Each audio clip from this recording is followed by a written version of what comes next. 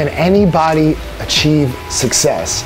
Absolutely. It takes discipline. You have to really be rigorous in your attempt to be successful. Uh, you have to be willing to fail a lot. You're gonna have to go through some bumps and some bruises and some things that go on as you're trying to climb this mountain of success. Um, but if you are relentless in your approach, uh, I think that anybody, if you just keep picking yourself up and dusting yourself off,